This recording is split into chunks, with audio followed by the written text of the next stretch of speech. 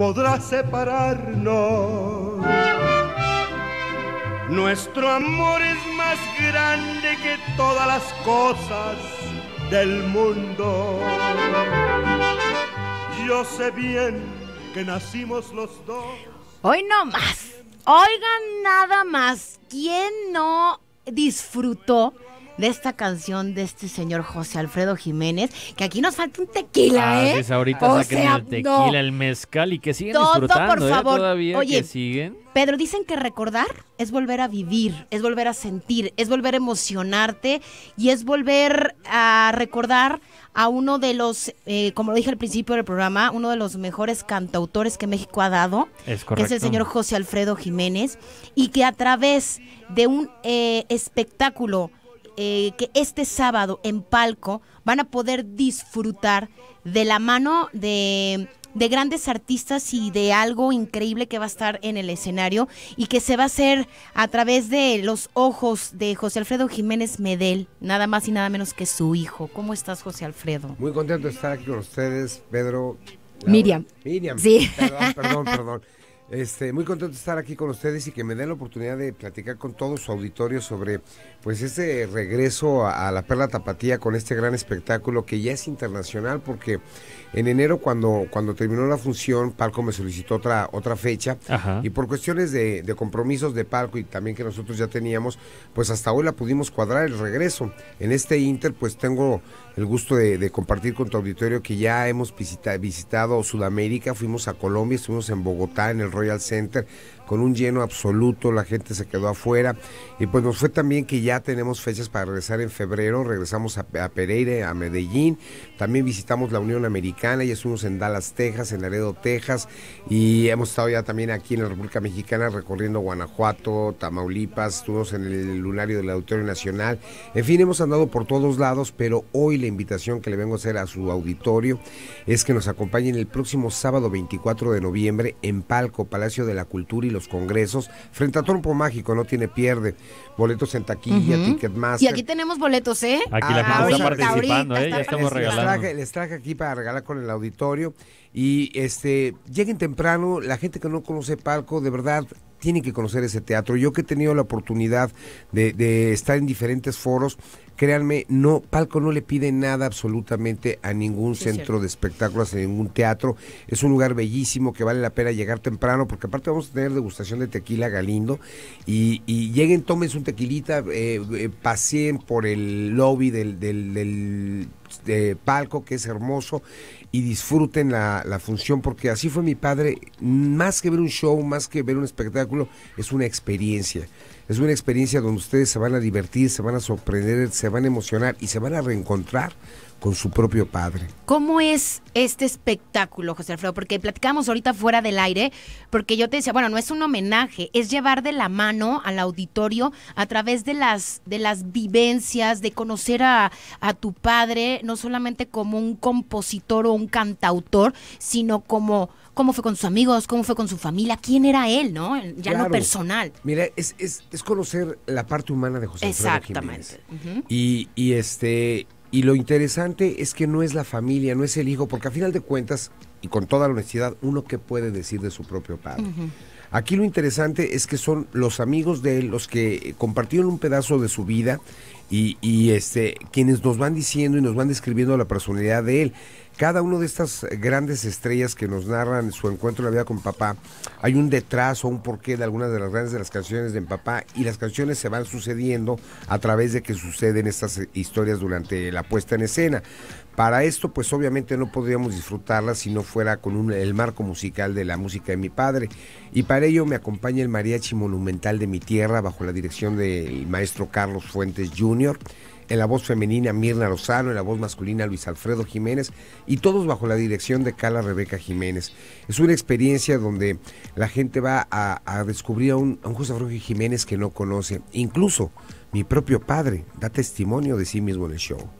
¿Cuál, ¿Cuánto es la duración de esta experiencia que vamos a vivir? El show dura dos horas. Ajá. No tiene cortes, no hay intermedio, es corrido, pero es un show súper dinámico. La gente sale dinámico. llorando, nos estabas comentando. De verdad no es exageración, pero me acabas de quemar el negocio porque yo siempre tengo cuatro chavitos vendiendo Kleenex a la salida y ya, ya, la gente va a llevar su pañuelo.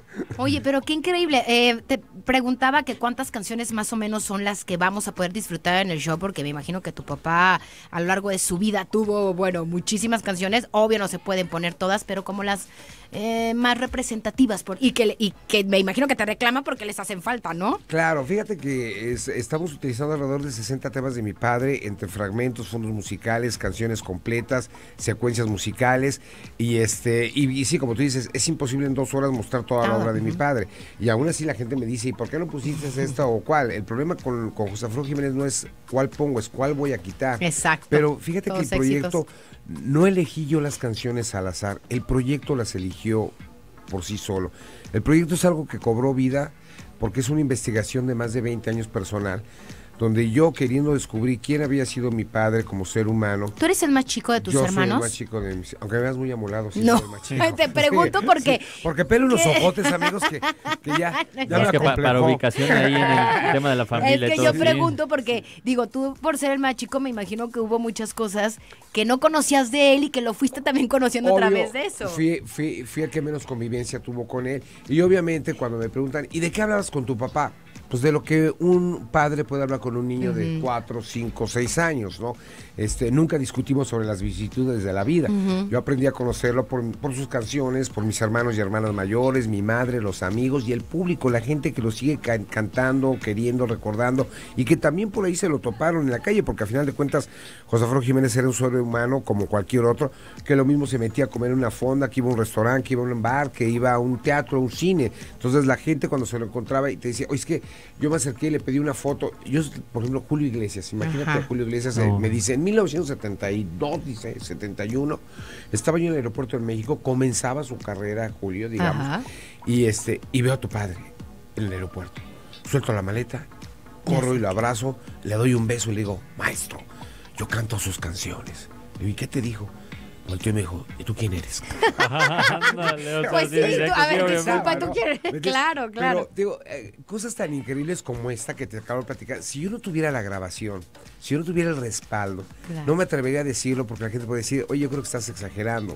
O sea, imagínate un Juan Gabriel Sí. diciéndome, es un país donde hay tantos autores súper importantes, pero el más importante de todos es tu padre. Digo, mira quién lo dice. Sí, no, o sea, claro, no lo dice grandes, grandes. cualquier Una gran- persona. ¿Y don Vicente?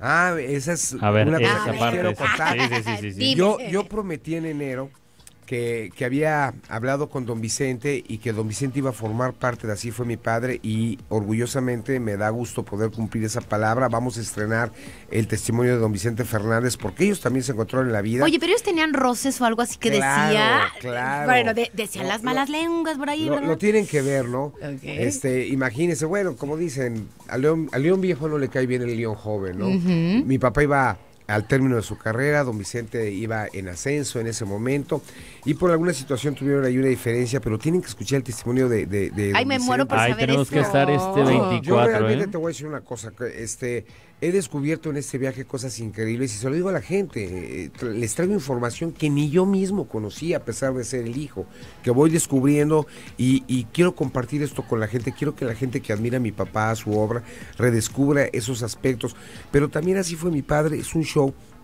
que enaltece el orgullo de ser mexicano. Sí, claro. La gente sale muy contenta, muy motivada. El playlist que usamos en la, eh, créemelo, es increíble. Preparé unas cosas maravillosas para aquí, para Guadalajara, eh, con todo mi equipo de producción, que el sábado desde temprano vamos a estar montando y ensayando ahí en Palco, que es- les repito, es un teatro bellísimo.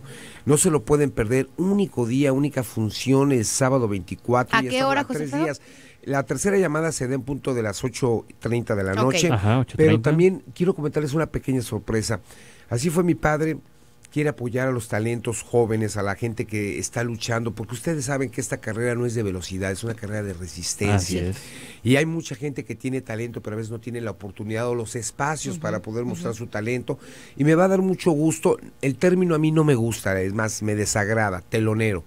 No son teloneros, yo los veo como colaboradores Sí. que van a ayudar a recibir a la gente en la sala con sus voces, con su talento. Y me da mucho gusto decir que en esta ocasión vamos a tener dos artistas de aquí, que uno de ellos es Eduardo Barbosa, que él es primer lugar de la Voz Kids el año pasado, y al tenor Miguel Sotomayor, quienes van a del- deleitarlos con un par de temas de mi padre antes de arrancar el show, eh, para que la gente los apoye. Ustedes los conocen, lo apoyaron, Eduardo, eh, eh, este, es gente de ustedes, eh, tenemos que apoyarnos entre todos y me da mucho gusto que así fue mi padre, les pueda brindar un espacio para exponer su talento. Perfecto. Así es, pues no podemos gracias. perdernos este sábado 24 de noviembre. Nosotros tenemos dos boletos dobles. Para que se comuniquen. Para que se comuniquen al final del programa. Vamos a decir quiénes son los que se van a ir, pero a través del WhatsApp y a través de los números eh, telefónicos de la cabina, tienen que comunicarse porque de verdad es imperdible este show. Único día, sábado 24 de noviembre en Palco, 8.30 de la noche. Así es, muchas gracias, José Alfredo Gracias, Jiménez Medel. ¿eh? Así fue mi padre. Ahí nos vemos. Allá. Gracias. Vamos con esto que es Rosas de la oreja de Van Gogh.